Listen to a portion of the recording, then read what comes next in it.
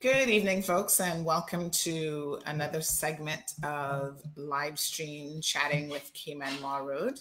Um, great to have you guys here this evening. I trust that um, you all enjoyed the agriculture show yesterday. I think they had a wonderful turnout.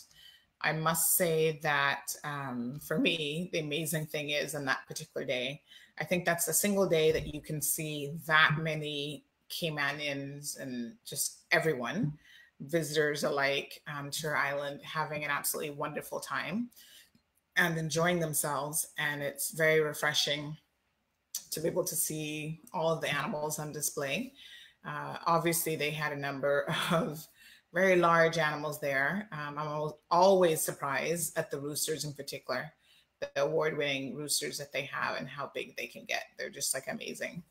So, this evening we have a very interesting discussion lined up for you. Um, it's a bit of a serious topic, so I hope that you guys will tune in. Please definitely, you know, share the link, get people involved in this discussion because this is a topic that we're going to have time and time again, but it impacts every single one of us. And there's no way around it. So, next week's segment, we are actually going to have with us on air someone who is a sexual abuse survivor. And that's just amazing for us to get someone who can come forward, share her experiences, what she went through. Um, and she's actually overcome so much in her life. She's now a mother of two lovely children, um, married, and has a wonderful family. And she's also a doctor. So, you know, she's had professional success, personal success, and she has a very strong belief um, in God. And I think she has a lot that she can share with us in terms of how she overcame her personal situation and her personal ordeal. So that will be next week, Tuesday. I hope that you guys will tune in uh, for that discussion. But I wanted to start this evening's program by addressing a couple things that I've seen on social media. So for me, it's particularly disturbing when I see persons questioning situations that we see in the media about alleged child molestation. And I think it's a conversation here in Cayman that we definitely need to have because it just doesn't seem that the message is getting through time and time again. You know, the courts are failing us, um, the churches are failing us in this regard. There are community leaders that are failing us. A lot of them are not making this a serious topic. We don't have legislation in place, in my opinion, that we should have to really address the issue of child abuse and in particular child molestation. So it continues to be a real sore point for me. And it grows every single time I see comments on Facebook in particular, where people are saying things like, oh, well, the media is just attacking uh, Michael Jackson. They're just attacking R. Kelly. You know, there's this um, sentiment that all of a sudden now the entire world is contriving and, and you know trying to take down black artists. And then people throughout this very skewed logic well why aren't they attacking the churches? Why aren't they going after the, the harvey weinsteins? I'm like actually they are. You know everybody knows the scandals with the catholic church and they continue on a daily basis to be highlighted. And priests are continually in the news. And that is something that isn't going to go away. Victims are coming forward. And I want to talk about, as part of this discussion this evening, why we as communities always want to attack victims. Why are we always questioning the victims? Why didn't you tell somebody? Why didn't you do this? Why didn't you do that? I mean, to me, it's absolutely amazing that those are the first questions that we have in a situation, as opposed to looking at a perpetrator and saying, why are you molesting people's children? Because that is the real wrong here. Rajiv, thank you so much for tuning in from the UK. I appreciate the support very, very much. Um, I think we have a few other people tuned in from the UK. Jevi is supposed to be joining us as well. I'm sorry, so hopefully he's tuned into the conversation because Jevi did have a comment on his Facebook social media page earlier that um, certainly prompted me as well as other people to really have this discussion. I'm gonna I'm gonna share Jevy's comment and I'm going to share a couple others from social media. So I'm just going to pull these up here on my phone to kind of put this conversation in context because I think it's essential, you know, that we have this dialogue as much as we need to for this to really, um, sorry, for this to really, you know, I think just really come through. So, um, he posted eight hours ago, Jevy said, unpopular opinion, Michael ain't touched those kids. Well, I hate to say it, but that's actually not an unpopular opinion. There are a lot of people who would rather live in denial that Michael Jackson is innocent and he did not molest or abuse children. So I want to talk about specifically why we can say that after knowing as much as we know about Michael Jackson, why is it that the general population doesn't go? There's something seriously wrong with someone like him. There's someone there's something seriously wrong with someone like an r. Kelly who continues to have inappropriate relationships whether they want to coin it as friendships or whatever they want to call it right? Because they always have an excuse and we're going to look at some of those excuses and some of the grooming that has actually happened with not just the victims themselves, but also like the wider public, you know, because we have been hoodwinked into accepting what under normal circumstances would be absolutely horrendous behavior. We've been hoodwinked into looking the other way because these individuals are celebrities and they're and I want to examine examine, sorry, some of their predatory behavior that has led us to where we are. So Carmelie has just joined the discussion.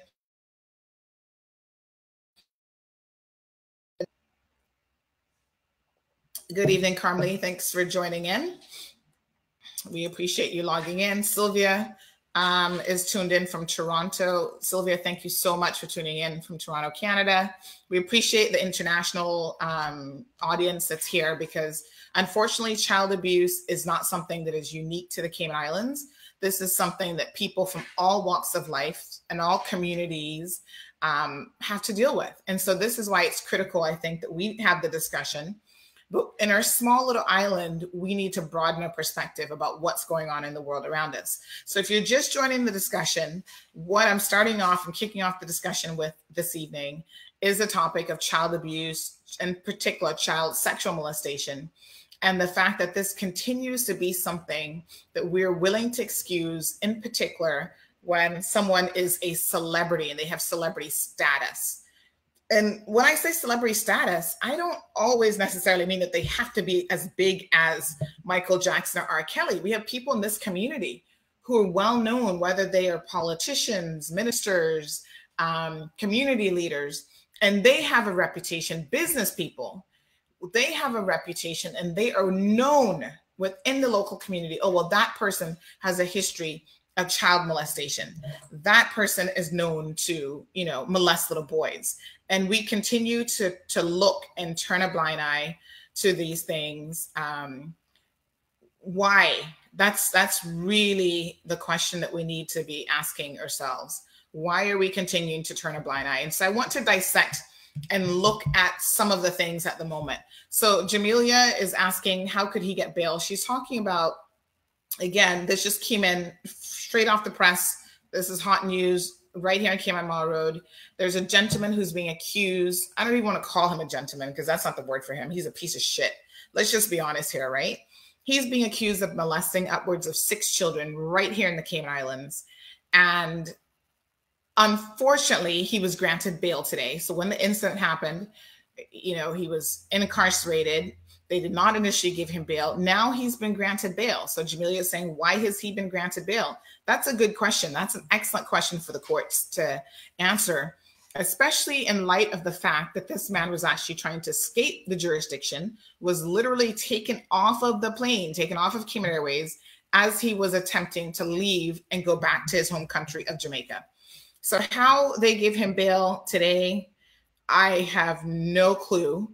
Um, it's it's just insane. My sources actually indicate to me that he was given his passport back as well. which again is quite unbelievable. So this is this. I'll summarize a little bit here what my sources said. So he's been charged with, you know, sexually assaulting six young girls. He's from Jamaica. He went back home to supposedly retire. His wife, who's Caymanian, returned to Cayman last year, and he returned as well a few months later with her to visit late last year. So after being accused of child molestation, he attempted to flee the island and got on Cayman Airways. And it was at that junction that the police stopped him from leaving. And he was caught in time and he's been incarcerated all of this time. The children are giving their statements. Obviously, the police investigation is in full swing, is continuing. And for whatever reason, he was actually granted bail today. And my sources actually indicate that not only was he granted bail, but his passport was returned to him. Supposedly, he has on an ankle monitor. I really don't know how much good that would do um, because we've seen people figure out how to work around those ankle monitors before. So, how useful they are, only God really knows. Um, you know, we have withheld certain bits and pieces of information because we do not intend to um, give away anything that might potentially expose the victims um, in any way, shape, or form because I think it's critical at all times to protect, especially children that are victimized by these individuals. So, in the larger context of this discussion, I figured that it would be useful for us to discuss both R. Kelly and Michael Jackson kind of together. So, a couple days ago, there was a two-part docu series that ran about Michael Jackson, and two alleged victims have come forward indicating that they were abused by Michael Jackson. And right away, our Caymanians, people that we all know and a part of this community, they jump on the bandwagon and they're saying things like, you know, he didn't touch anybody. Mind you, I don't know how people can swear for anybody, right? If you were not there, you are simply not in a position to swear that this person never touched anyone. How can you even make a statement like that? Only God knows. But at the end of the day, good evening, uh, Cayenne. I hope I'm pronouncing your name correctly. Cayenne or Cayenne, let me know how that's pronounced with a K or like K-Man. um, we have a lot of people who are trying to defend these individuals and this behavior by making these comments like, you know, there's no way that Michael Jackson could have touched these boys. Um, there's some kind of um, I guess it's conspiracy is the best word to use. There's some sort of cons- conspiracy afoot to destroy Michael Jackson now that he's been dead for 10 years. There's a conspiracy afoot to destroy, um, you know, the Black community, destroy uh, artists who are Black. And I think that's so incredibly ridiculous. I mean, we have had tons of talented Black people, African Americans, whatever you want to call them, that have never been accused of inappropriate behavior. So far, we have these two high profile individuals who, in my mind, I don't even know why people are doubting these stories because we've always known about the inappropriate behavior of Michael Jackson. We've always known about the inappropriate behavior and the sex tape, the video evidence with our own eyes of R. Kelly. And yet, it's now only in 2019 that some people are finally beginning to say, well, yeah, something is definitely wrong with this behavior. What's going on here? But on the flip side of that, we still have people who are defending the legacy that these people have created. They've created a personal legacy. And then sometimes, yes, I get that their music is a big deal to people. And people are all about, well, you know, Michael Jackson was trailblazing in terms of what he does did as an artist there will never be anyone probably like him again. And there was certainly no one before him. And for him to have been a black man, and especially in the US, and gotten to that particular stature in life, bigger than life. Um, you know, you'll recall that when they had his funeral and they aired it live, a billion people, be with a billion, be not million, one billion people tuned in to listen to and watch his live funeral being broadcast those are amazing statistical pieces of information. But does that mean, how do you juxtapose that against someone who also enjoyed sleeping with young children? Everyone knows that he physically wanted to sleep with young children because he said it. He actually said in his own words, and I'm going to play a little video clip here of an interview with him so that you guys can remember, because I wonder sometimes if people have forgotten some of the details. And that's why now that he's been dead for 10 years we somehow want to want to preserve this kind of lake uh, fake sorry legacy. Um, bbc radio stations are starting to pull his music.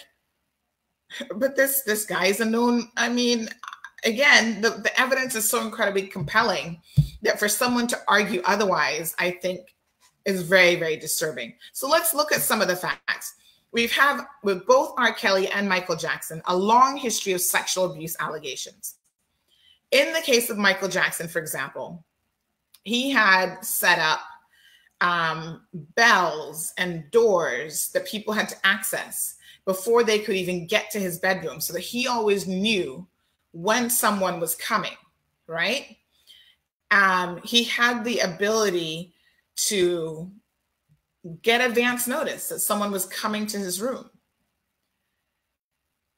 The number one question that people seem to have is why do victims wait so long? So, if you've ever done any research or you know anything about trauma survivors, you will know that the to even ask that question is a bit ridiculous. And it's not it's something that I think we as a community have to educate ourselves about because of the simple fact that we continually say, well, why didn't you come forward? Why didn't you tell someone? One of his victims was allegedly molested over a seven year period of time, from the time he was seven years old to the time he was 14. And his name is Wade. And you can certainly go and watch the documentary. It's been all over the news. There's been a lot of, um, you know, footage of it being shown. And the thing that strikes me is how Caymanians will get on their own social media pages and they will attempt attempt to defend someone like a Michael Jackson, like an R. Kelly, but they don't even want to do the respective research. They're not going to go and watch documentaries for themselves. They just read a headline or read a clip that okay, BBC is pulling his his music and they get upset. There's some grand conspiracy against black mm-hmm. people. They don't go and watch it, right? I've taken the time to watch the R. Kelly documentary more than once. I've taken the time to so far just watch clips of the Michael Jackson alleged victims having their say. And what I will say is either these guys are the best actors in the world and deserve a Golden Globe, an Oscar, an Emmy, the whole nine yards, or there's truth to what they're saying. Now, let me clarify a couple things. Why do we find that it is appropriate for a 30 year old man to be in bed with a seven year old, or a 30 year old man to be in bed with an 11 year old child? And somehow that is appropriate behavior. That's not appropriate behavior by any stretch of the imagination. That's absolutely ridiculous. Melissa, thanks for the comment. Melissa says, when it comes to Michael Jackson, I don't blame him. I blame the parents of those children why would you send your child there? Well, here's where we're going to disagree. I also blame the parents who got caught up in his fame and got caught up in the money and the lifestyle and probably the opportunities that he was going to present and the doors that he was going to open for their children and being blinded by that and and one of the the alleged victims in this documentary talks about the fact how he is in therapy to this day and how him and his mother do not have a relationship because he is of the opinion that his mother essentially served him up on a silver platter for this child molester to have his way with him. So I agree that parents need to do a better job of policing the situation. And they need to do a better job of ensuring that their children are not at risk and not put into situations like this. I don't care who the perpetrator is. I don't care if it's a Michael Jackson. I don't care if it's it's the Queen of England or the King of you know the United States of America or whoever. Your sole job in this world is to protect your children from this sort of thing. So, yes, parents need to step up to the plate and take some responsibility. Where you and I will disagree, Melissa, is I cannot say I don't blame him because ultimately he is the one who did the act. He is the one who betrayed those parents and the trust that they put in him. No matter how misguided that trust was, he ultimately made those conscious decisions, allegedly, to molest and abuse children if that's what he did. And I, I wholeheartedly, with all of my heart, it is my opinion that Michael Jackson is a child molester and a repeated child molester, and he continued to get away with it for his entire life. So let's just go back a little bit and have a look at what I consider some of the pertinent questions that we should be asking. He was talking on the phone with these little boys for four hours a day. What adult in their right mind needs to do that? His own family and him have admitted that they were sleeping at, or allowing children to sleep in the same bed. And their excuse was, oh, Michael Jackson is, um, he's a kid himself. Really? A 30 year old man, a 40 year old man, you know, you're not a child. I don't care how deprived you were, what kind of childhood you had. I don't care how tough your father was on you. You are not a child. And there's absolutely no reason under this sun that we all exist that you should be sharing a bed with children. They're not your children. It's not natural for these children to be having sleepovers with an adult male. And to me, that is absolutely disgusting. What 30 year old prefers the company of young boys that are seven to 14 years old? And these are questions that, again, when you try to defend Michael Jackson, I would like to hear what your thought process is and what logical explanation you have for what is actually going on. It doesn't make any sense to me. Let's think about Neverland, for example, and the whole concept behind Neverland.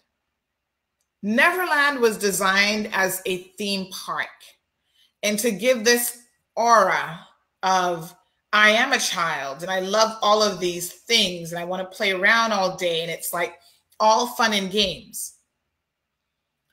How do you create something like Neverland as an adult to bring children in and adults don't go, hold on a second, what is this all about? This is part of the grooming process. This is how molesters, adults, groom children. This is what they do to attract these children in. The cleaning people, the helpers that work with Michael Jackson, talk about finding boys' underwear on the floor. How when they went to his facility, they were instructed by him to take off their clothes and put their clothes in a suitcase and wear his underwear. Or, you know, he would tell them to put their underwear in a drawer. Like none of this stuff is logical and makes any sense. I believe that people like Michael Jackson and R. Kelly are the ultimate predators, and they have been allowed by society to go unchecked for far too long. One of the helpers actually talked about the fact that um, there was this constant I don't even know how to tell you guys this, but you just need to you need to go and look at some of these videos for yourself. There was a constant um there was what she said was there was Vaseline all over the plates. And when the interviewer said, What do you mean by that? It would be in the golf cart. that they use to go around the property. It would be in um, you know, in his room. It would be hidden like all over the place. And it's like, who has Vaseline hidden all over their house? Like, what's the purpose of that? And I don't want to get too graphic, but I think you guys can figure it out. Why on earth do you allow children to sleep in bed with a grown man? Just reading some of your comments here. Carmelie, I'm a little bit, I'm not a little bit, I'm a lot disappointed in this comment. Don't care how we all try. Sometime these kids are bad. Let me try to break this down to you because I'm so disappointed that you would say that. These kids are not bad. You know who's bad? It's the parents that fail the children. and put them in these situations with adults when they should not be, and then turn around and try to blame children for the adults' behavior. It's the parents that have failed their children time and time again in more ways than one, where a child somehow thinks that if an adult male comes up to me or an adult female comes up to me and they offer me something, they offer me money or candy or whatever, I have to take it and then give up my body, give up who I am. The parents have done that, not the children. These children are born into this world innocent. We expose them to the BS. We expose them to the harm. We expose them to the predators. This is not about bad children. This is about bad people like Michael Jackson, R. Kelly. And it's also about bad parents. So anybody in my mind who tries to blame a child for being a victim needs to have their heads checked. I'm sorry.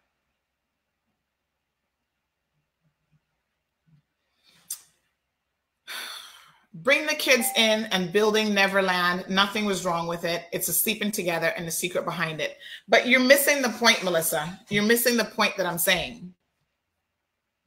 The point that I'm saying is what is the motive behind what he was doing? There's an entire process. You need to look bigger than, oh, I'm just sleeping with these children.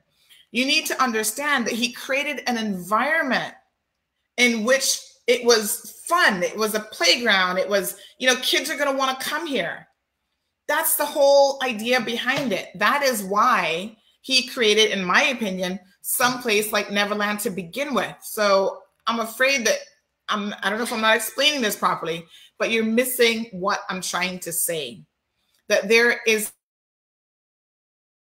things that these predators do. There's a reason why they put themselves in position of trust there's a reason why they wear the cloth of God and pretend to be godly men or women. There's a reason why, sorry, they become coaches and they pretend to be trying to help people in communities. That's what I'm saying. And if you don't see that, you're missing, you're not fully understanding how the entire grooming process works. Cora says there's a special place in hell for people who abuse children. I couldn't agree more. Absolutely. I agree 100% with that. Nicole, thank you for joining the conversation. Melissa says she wasn't seeing it that way. And this is why I'm having this discussion, Melissa. I'm not trying to call you out, but I think that a lot of us who even have children, we are not seeing and we don't understand how this works. And that is precisely why our children are at significant risk. We're not thinking like a perpetrator, but you have to think like a perpetrator and understand what it is that they do in order for you to be in a position to truly protect your children. This is grooming. This is what is done. So I'm glad that hopefully you can see it a little bit differently now because that means that our job is that much more challenging if we don't see what's really occurring around us. Okay. You guys remember, some of you may remember this documentary that was done by Martin Bashir on Michael Jackson. Um, Aaron, I'm not ignoring your comments, but we're trying to just stay on topic. So tonight we are talking specifically about child molestation and abuse. If we have time at the end of the program to talk about domestic abuse, we're certainly going to get there. But this this particular topic really demands our full attention without any distraction. So that's what I'm trying to do here. So I'm not trying to ignore your comments at all, Aaron. Um, we can definitely get to that discussion because dom- domestic abuse deserves a lot of attention as well. But tonight we are talking about child abuse and child molestation and why we continue to give these people because they're celebrities or they're well-known people in the community whatever the situation is we continue to give them a pass. Now one of the defenses that michael jackson always used was oh he's a little boy. This is what his family says. He's a little boy himself. He never had a childhood. And that's why it's fine for young children to sleep in bed with him That makes absolutely no sense. You're a grown man. You are an adult. You are a big man. It doesn't make any logical sense to say that is the reason why a young child, seven to 11, and sometimes even younger, should be sleeping in your room. But as someone said, fame is the biggest seduction. And that is very, very true. Oprah Winfrey did 217 shows on child abuse, sexual child abuse, because as many of us know, she was a victim herself. 217 shows. And you know what? Not until now, when she interviewed after the two part documentary aired, she then interviewed the two alleged victims interviewed them, did a one-on-one interview, and that aired after the documentary.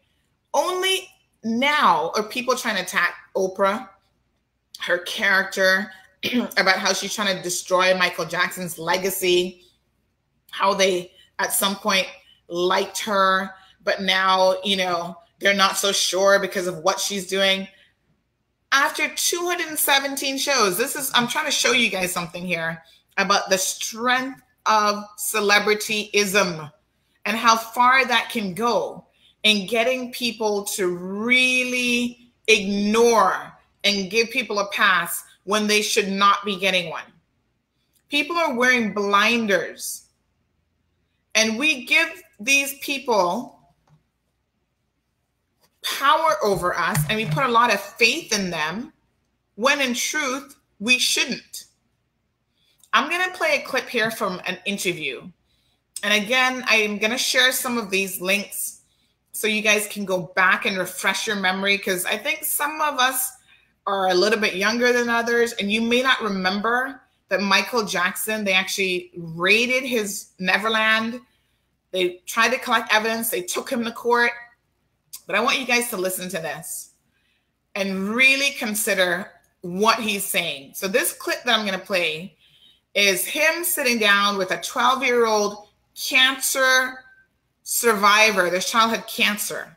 So, what does he do? He preys up on the most vulnerable in our community, a child who is sick, invites him to come to his home. Now, of course, what mother's thinking Michael Jackson, the most famous man of his time, is actually going to molest and abuse my cancer stricken child, right? So he invites his child to come into his home and stay with him. Oh, I want to help you. I want to help your family pay their medical bills. You know, I want to do all of this seemingly um, nice stuff, not realizing that she was sending her 12 year old child right into the lion's den, straight into the lion's bedroom. Now, he was interviewed about this and listen to what he said. So I want you guys to really hear this carefully.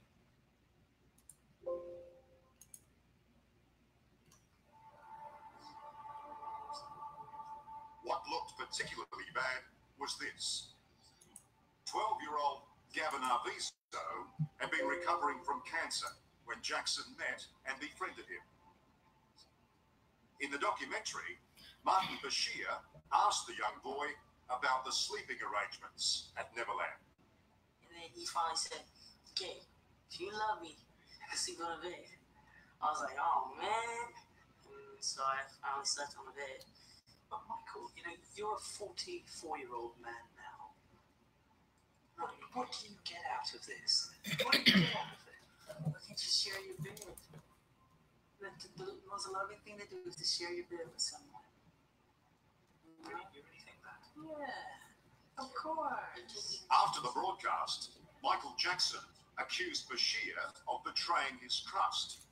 All right, so you you see this 12 year old. I know you guys don't have the video, but I'm actually going to post it in the comment section so that you can go and view it for yourself. Because I think you should view the entire thing. Um, so you have this 12 year old child who's recovering from cancer, essentially saying that Michael Jackson said to him, "If you love me."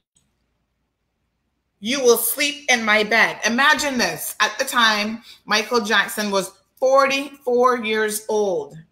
And this young man is 12. On a serious note, for real? A 44 year old telling a 12 year old, if you love me, you will sleep in my bed. And did you hear what Michael Jackson said when he was asked, Do you really think this is normal? Like, what sense does this make?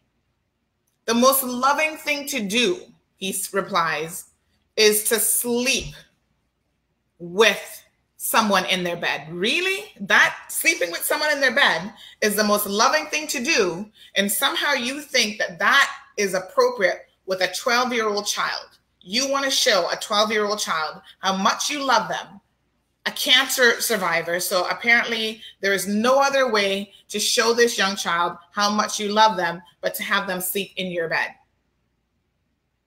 People, you need to wake up.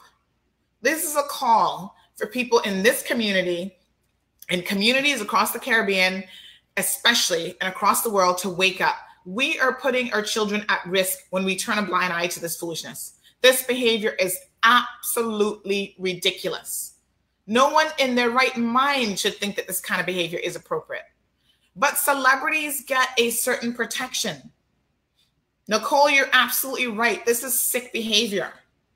When you hear it, I'm going to encourage you guys. I'm going to be doing a viewing party with my friends so that we can sit down, watch just like we did with the R. Kelly documentary. We're going to Michael Jackson one. It's only two parts, and then there's the Oprah interview. And we're going to have some real discussions as parents. Some of us have children, some of us don't have children, but we're all part of this community. We need to ask ourselves some serious questions. Why do we think the way that we do? Why do we think that this kind of behavior is okay? Why do we not see the truth of what's going on here? Michael Jackson paid off one young man $22 million. That was silence bought. That was another life ruined for $22 million.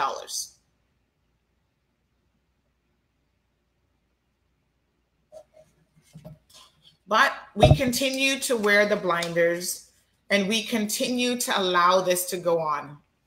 In the documentary, one of the alleged victims talks about the fact that Michael Jackson tried to penetrate him. And when he went home, he gets this frantic call from Michael Jackson, you know, where's the underwear that you were wearing? And he was like, I don't know. I think I threw it in the wash. Why? No, no, no, no, no. You have to get that and bring it back here because it actually would have had blood on it and physical evidence of what he was actually trying to do to this young boy. I'm sorry, but when people say, oh, these victims are looking for money, 10 years after the man is dead, you're going to be looking for money. You're going to put yourself and your family, all of your business out there. These some of these guys are now fathers. They have families of their own. They're married. And they said that when they started to have a family, they started to have children, they started to reevaluate what had happened to them because in fact, they had tried to because this is what perpetrators do they will often get other victims to come forward and say, No, I hung out with Michael Jackson all the time and he never abused me. So then the question becomes, Oh, well, if he didn't abuse you, we can't believe that he would abuse anybody. Well, that's not true. People may have a preference. One person might have been more vulnerable. One, one child might have been more attractive, attractive to him there's a, a myriad of reasons why he didn't abuse every single child that came into his place. I don't suppose he would have been able to create any music had he been doing that. So, you know, we need to think logically at some point about how this really starts to play out. Because it trickles down. The way that you see a celebrity and the way that you can defend their behavior and question the victims and blame the victims is the same way when it happens at a lower level that we want to question and blame people as well. If I had a dollar for every single child molestation story that came out, when people, especially when the child is a little bit older in the teen years, we want to blame that child and put that responsibility on that child. You guys remember the case with um, Web- Webster, who's a former political candidate for Town, when he molested the young lady. Thank God she got it in video, but people are questioning, oh, well, why did she videotape this? What was this really all about? Had she not videotaped it, it would have been her word against his, and he probably would have gotten off. Now, it's well known in the community. Everybody was talking about how he's buying these young girls presents. He was being inappropriate with them, wanting to hang out at the church youth group and doing all these sorts of things. So when it came out, it really shouldn't have been a surprise or shock to anyone. But what was the first thing that a lot of people attempted to do? Oh, well, who's the victim? How can we blame her? She was too fast. She was too this. She's she's a bad child. She's too mature. That's how we try to put the blame on everyone but the perpetrator. And that's why I have to call people out. Carmelie, I might love you otherwise, but that comment that you made about children being bad and that's why they're being molested is completely wrong. I've never heard such a disgusting comment in my life. That that type of thinking is why I'm sitting here dedicating my time to try to get people to realize stop blaming children, stop blaming victims. A child is 14, 15 years old. How can you compare their experience and their life knowledge and understanding or even their emotional development, their psychological development to that of a 40, 50, 60 year old man. Come on, really?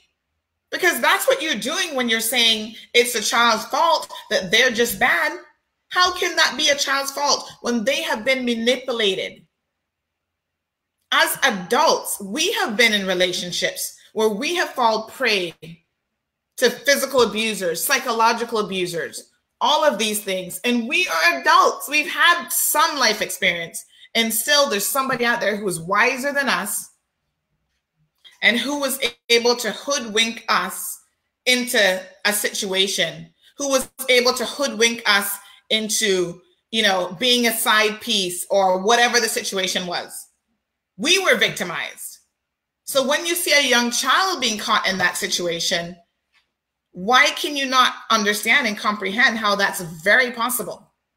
Given the level of maturity, knowing that the teenage brain does not even fully develop until you're in your mid 20s. That's why there are laws in place to try to protect children as much as possible. And that's why, as a community, we have to step up to the plate. Forget how popular somebody is. Forget what their social media presence says or how many followers they have on social media. None of that matters when it comes to protecting your children because they are our most precious commodity. No child is born bad. We create, as parents, we create situations and environments for children to be exposed to all sorts of foolishness and not get the protection that they deserve so when we have damaged children that are out there looking for love and attention, we should take the blame for that. We're the ones who've done that. And we need to ask ourselves some really hardcore questions about how we continue to do this and allow this to happen in our communities and try to blame the victims. So, again, why do we victim blame? Why is it that our first thought is where were the parents? What what what was the victim doing there? Why is it not oh my god this perpetrator is wrong? Why is he doing this? Why is he taking advantage of a situation of that child of that parent's trust of that situation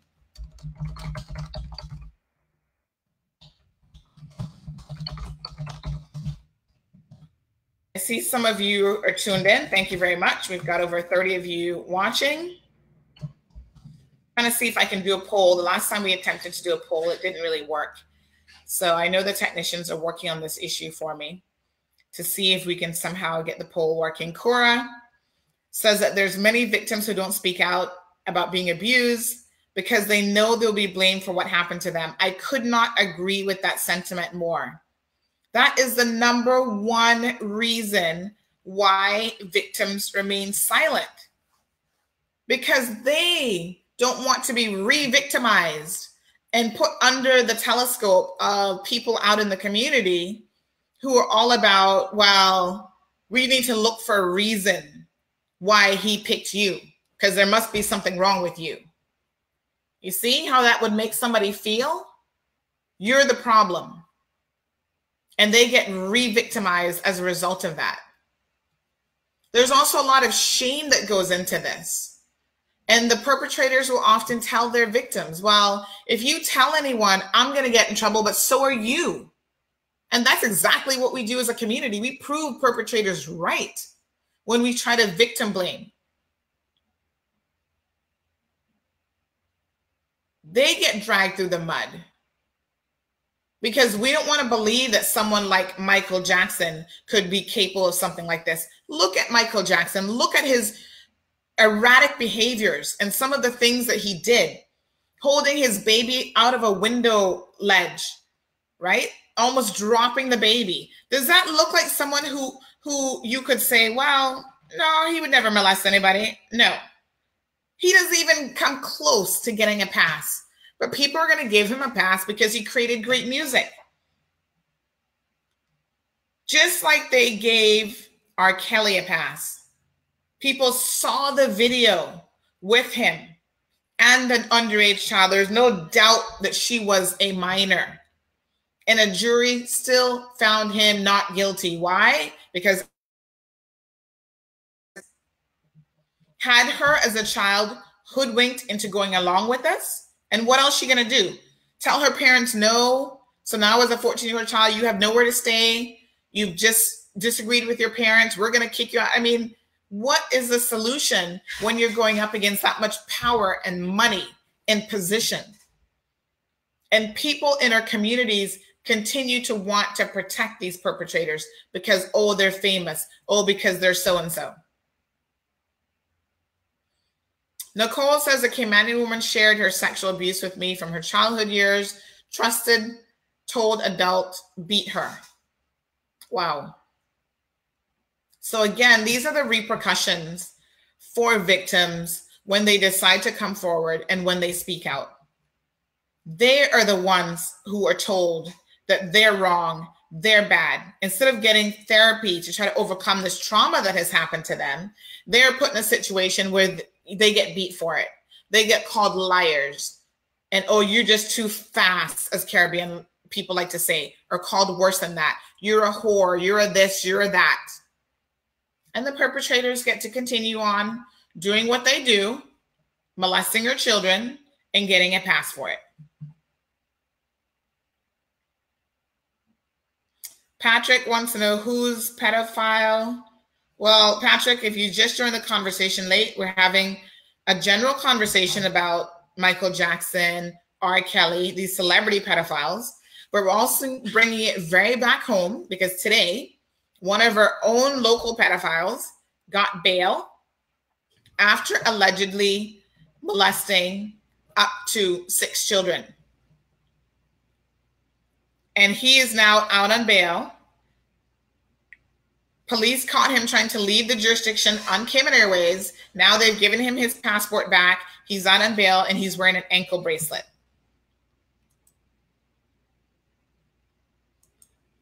I'm going to share a couple other links with you guys, but I want you to listen to this one again. And this is one of his victims, one of the alleged victims that has participated in the documentary. I'm seven years old. Michael asked and the family want to come to Neverland. We drive in and then forget about all your problems. You were in Neverland. It was a fantasy. Hello, Wade. Today is your birthday. So congratulations. I love you. Goodbye. He told me if they ever found out what we were doing, he and I would go to jail for the rest of our lives. All right, so there you have it. He was seven years old at the time. Told, oh, if anybody ever finds out, you you and I will go to jail for the rest of our lives. That's what we're talking about. That type of manipulation, manipulating the parents into thinking, oh, this is going to be good for him. let him come hang out with us, surrounding himself with other children. Oh, this is a place where children can feel safe. Children running all over the place to gain your trust. That's how perpetrators work, folks. We need to wake up. We need to stop with the blame on the victims. Even when people say to me, well, what were the parents doing? I agree that as parents, we need to open our eyes and we need to do a better job. But when people are asking that question, they're asking the question because they're looking to displace blame. Again, they don't want to address the perpetrator, they don't want to blame the perpetrator. They're trying to look for somebody else. And the parents are convenient people to blame. A lot of these parents themselves were abused and victimized. And so they become easy prey for a predator. He knows, you know She's a single mother. She needs help. Um, she's in a vulnerable situation. You guys remember the head coach? I can't remember the name of the team right now, but he's the one who molested all of those children. They sent him off to jail as well in the US. And they had a nonprofit organization set up helping at risk youths. So he had a pick of the litter because these were at risk youths. Nobody were paying attention to what was going on with them. Oh, you get this opportunity to be in this program, you should be thankful that anyone cares about inner city black people or inner city kids at all. You know? About that, Sandusky. Thank you, Nicole. I just couldn't, that one didn't come to my mind just then. Penn State, that's right. So again, a lot of people turned a blind eye to what this man was doing and how he was molesting these children. So this is another good one when people say, "Oh, this is people trying to tear down the black community." I do not agree because there've been tons of examples of other people who, like Sandusky, who have been exposed and brought down. He's not black. Okay? So he was exposed. That made news. There was also the coach from the gymnastics team. He wasn't black. That made news. But as black people, and I'm speaking to Caribbean people and people of color, we're always looking for some bullshit reason to not call a spade a spade and to not say this person's a child molester, this person is a child abuser. Instead, we want to make this a color issue. They're attacking people because they are black and you know all these celebrities. No a lot of white people have had their lives destroyed. Yep he was raping these underprivileged kids in the basement of his home while his wife was upstairs turning a blind eye. Nassar absolutely he was the coach. So i get frustrated when i see this dialogue happening in social media where people are trying to make this a racial issue and trying to make people think well they're just coming after us because we're black that's ridiculous. Let's stop the foolishness. Let's talk about how we can educate ourselves as parents and try to protect our children. Johan Moxham says, from a local context, are there any stats on reported abuse cases in the Cayman Islands kept by the RCIPS or relevant CIG agencies? Well, they have told us that there's an uptake on the number of um, abuse allegations. It could be that more are being reported. But listen, this is the most underreported type of offense and crime out there, especially with child victims. They simply don't come forward.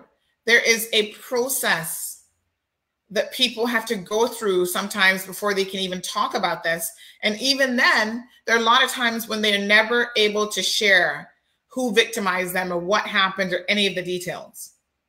So when you see someone, it took someone 20 years you need to understand how trauma works and how being abused actually impacts someone forever. It destroys their lives. This is not fun and games and joke and something that you can just sit down and open up about just like that.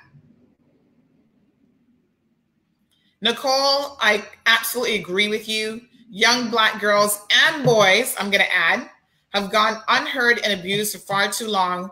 This is about finally standing up for the young black girls. And that is one of the takeaways from the whole R. Kelly situation. everyone said, listen, the reason why this man has been able to get away with this for as long as he has, with so much blatant evidence out there and everybody just turning a blind eye, was because of who the victims were. Most of them came from the inner city of Chicago. Nobody cared about them. And it was a black on black crime, even worse. So the black community turns a blind eye when it is their own that are the perpetrators. And that is the honest truth. And so that a blind eye when finally if the authorities now have 10 charges against him and we continue to find excuses and in the case of um, michael jackson the excuse is oh well he is um, dead and a dead man can't defend himself. Well, guess what? His victims are still very much alive. And there was sufficient evidence to take in the court to begin with back in the 2000s. But what happened? A jury let him go. Because juries are kind of easy to convince, oh, there might be some reasonable doubt. Here's a celebrity. Who are we really going to, you know, believe here some little kid or a celebrity with high paid lawyers and all of this other stuff. That's what it's all about. And they continue to get away with it. So I wanted to dedicate this show this evening because I think, like I said, there is a lot that we need to answer for as parents, as community leaders, as just people who live and make comments on social media there has to be some amount of responsibility when we're trying to take up for someone that we don't even know, that we want to claim that they're so incredibly innocent. I would challenge all of you. Go and watch it. If you've not seen the Michael Jackson documentary, but you're trying to defend Michael Jackson, go and watch it. See for yourselves how these two men who are now adults are still dealing with this situation. See how they're in therapy, how they're not even talking to their mothers who they blame for putting them in this position. No one's going to do all of this and make all of this up just to make Michael Jackson the biggest pop artist ever to try to make him look bad. That doesn't make any logical sense. And in the process, have people calling them liars and money hungry people and making themselves look bad. That just isn't how this works. Next week on Tuesday, so today's Thursday, this is our final show for the week. Next week, Tuesday, we're going to have a show with Nicole. Nicole, as you can see, has been commenting throughout the evening. Nicole Eastman is actually um, a survivor herself of child sexual abuse. And she's going to be sharing her story with us. And I'm so pleased, Nicole. I can't thank you enough for agreeing to do that show. I hope that we have, you know, when we talked about Matthew Leslie, who again has allegations of inappropriate behavior with underage girls, we had over 300 people tuned into that show. I hope that we can break that record next week, Tuesday, and have over 300 people tuned into the program to listen to Nicole as a survivor talk about her ordeal, her personal experience, so that we can all learn something from the perspective of a survivor. And we can all take away that just being that much more educated and learning how to protect our children and how to spot dangerous situations when it comes to our children. So please, next week, Tuesday at seven o'clock, tune into that program. Show your love and support for Nicole because not everybody, I can tell you, the vast majority of people, even if they're willing to talk to me one on one about their situation, about their abuse, they're not going to get on the airwaves and talk about it. And we found someone who lives in this community, who's a beautiful person. She's a family of her own, who's willing to share her experience. So I invite you all to please tune in next week, Tuesday at seven o'clock. So, again, this evening we have some bad news. An alleged child predator who's alleged to have at least six victims. Keep in mind, that the vast majority of people who are finally caught, are finally exposed, they have a long list of victims out there before they're ever caught. And the majority of those victims will remain silent. And we have to keep that in mind. When I speak out, when Nicole speaks out, when Miss Cora speaks out, we're speaking out for the silent majority. In this case, it's not the silent minority, it's the silent majority who are not able to speak for themselves. That's why I'm sitting here tonight. That's why I'm challenging anyone who feels it necessary to comment and try to protect these people that there's something wrong with what you're doing. I want to just read one little comment here from one of her. She's actually not tuned in at the moment, so I hope Tina doesn't mind me sharing this. But this was such a profound post that she shared in definite contrast to some of the other people out there who are trying to defend these child molesters. So Tina said, I firmly believe that Michael Jackson was a serial child sexual abuser and pedophile. I haven't voluntarily listened to the music since the first allegation. I also believe R. Kelly is an abusive sexual predator. I once was a huge fan and I stopped listening to his music after the first allegations. My favorite musical artist to ever live was Prince. If I find out, if I found out, sorry, that he was an abusive pedophile, I would stop listening to him too. Yes, talent is rare and admirable, but decency counts for far more in my book. Tina, you summed it up 100% spot on, and I could not have said it any better. So I am just going to leave us right there with that final comment. Thank you all for tuning in this evening and supporting this podcast. We will see you guys again on Tuesday evening. And just as a reminder, we'll actually have a child abuse survivor joining us in studio. You guys have a wonderful and safe evening, and please be safe on the roadways. Have a wonderful weekend.